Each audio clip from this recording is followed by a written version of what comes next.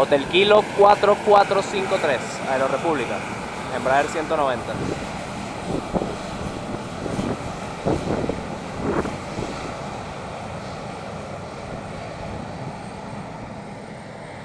Y en final, Beechcraft 1900.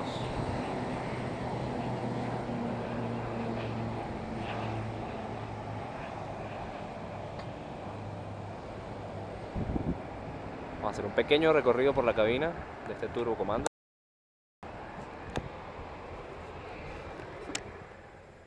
Y acá estamos con el panel del capitán,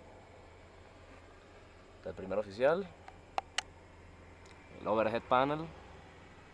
Tenemos aquí el compensador del rudder y el de los elevadores.